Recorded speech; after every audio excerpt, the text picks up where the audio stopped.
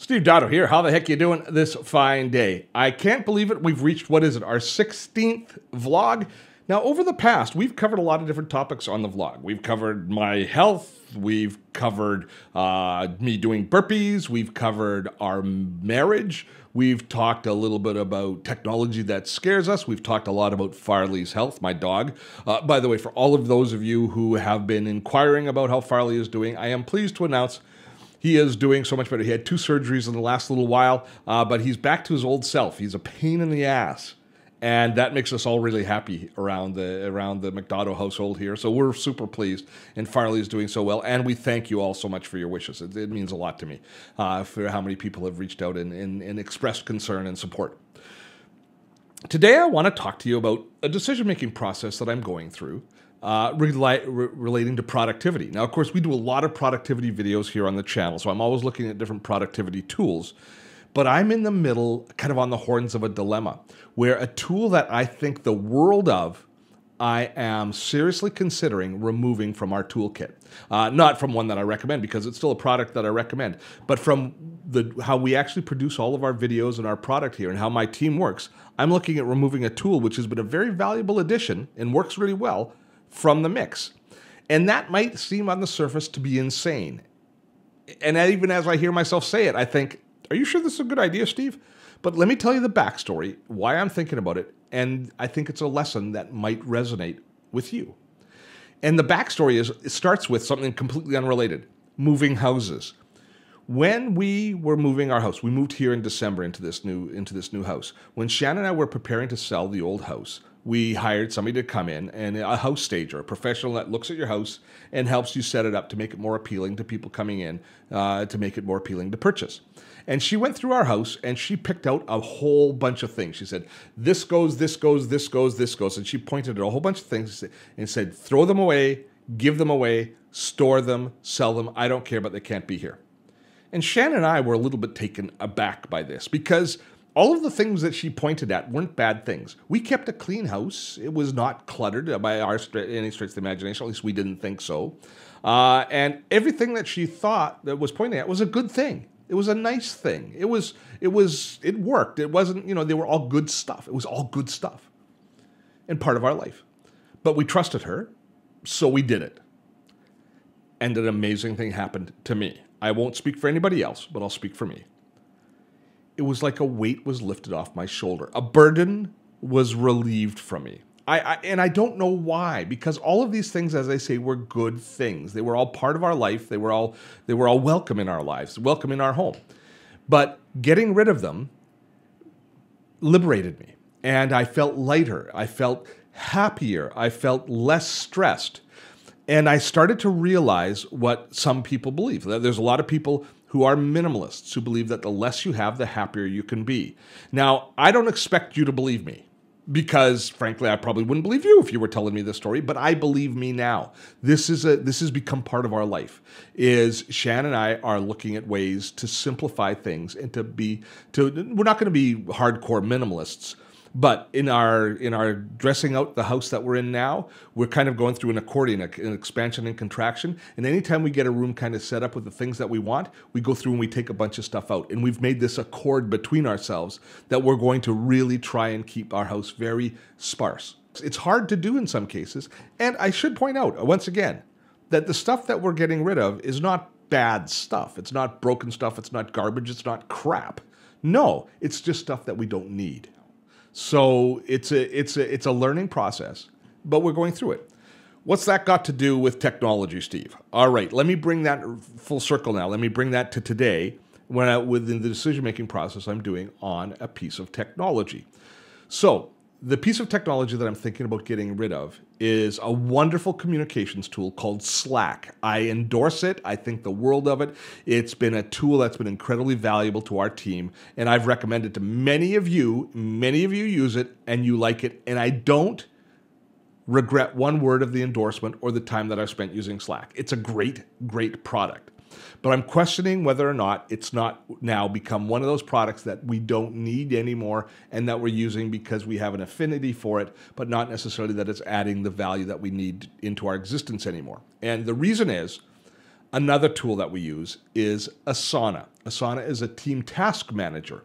Now, the work process that we have as we do Dottotech is let's say we're creating a video is i create the video as a task in dottotech. And everything around that video then lives within that task. All of the different assignments for people to do different pieces of work on on any video that we work on is held within that document within that task. And asana has a conversation management tool built in. So if liz has a question for me about a video that she's editing she asks it there which is the proper place. So now what i'm worried about is that when we implemented Slack in the first place as a communications tool, it was designed to stop us from communication and communicating in multiple platforms and streamlining all of our conversations. And it did a great job of doing that.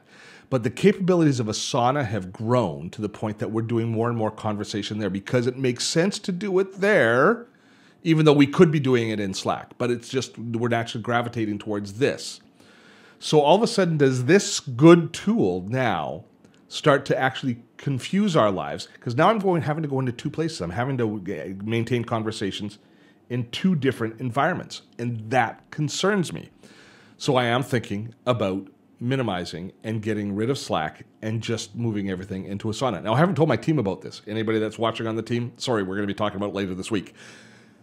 But that's the process that I'm going through and the decision making process. And maybe you, as you look at the different tools you use, and if you find that you really want to improve your productivity, the solution may not be to get more tools or to get a better tool to do the job you're doing, but you may look at your tool mix and say, what can we get rid of and unburden ourselves from? And see if that can't energize and make us more streamlined and make us more efficient. There's value in that conversation. So that leads me to decision making process on the different tools, and especially when you're evaluating the tools that you've got, et cetera. So one of the things that we do, of course, here on Dottotech is we examine and we explore and we install and we try a lot of different tools so that we can explain to them, explain to you how you use them.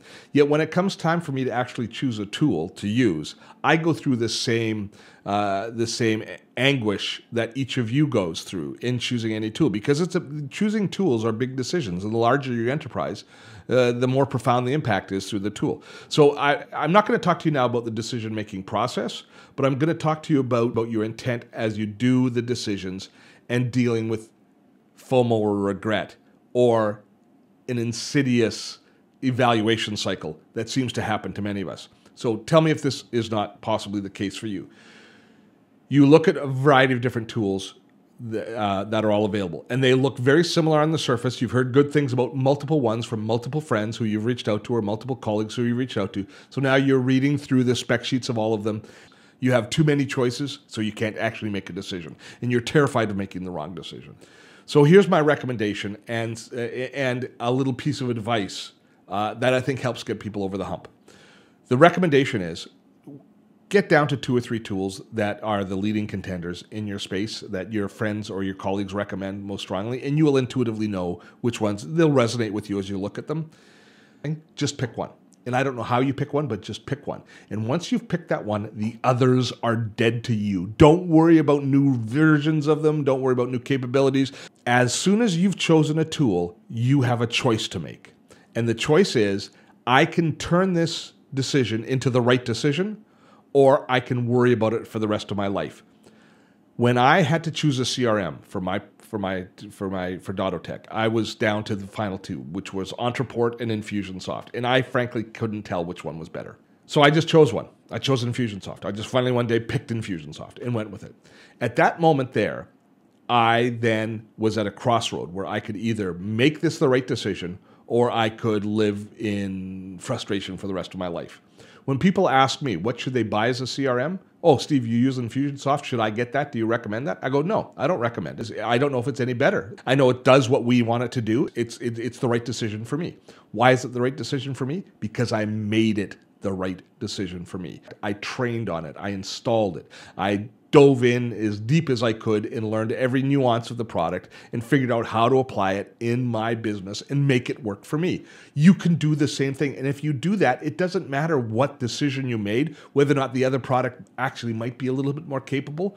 You will make your decision the right decision by engaging, by gaining ownership over that decision and, and making it the right decision. I don't look back with any regret, but because I put so much into it, it's going to work for us. And it does work for us. And it's the right decision for us.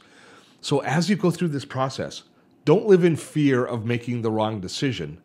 Live in hope or, or live in the joy that when you make the right decision, you're going to make it the right decision because you know so much more about the entire space. I hope that makes sense, and I hope you found that to be enlightening.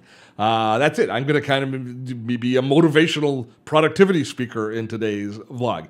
Now, listen, if you've enjoyed this content, please comment below, give us a like, share this uh, sh- share this video with others and make sure of course that you're subscribed to this channel. We're going to keep delivering our vlogs on weekends and we're going to be doing our regular videos through the week. Webinar wednesday will be of course still running each and every week. So we're going to be producing lots of content here on dotto tech and the way to make sure that you don't miss anything awesome from us is to make sure you're subscribed and you've hit the notification bell. That's it. Till next time. Have fun storming the castle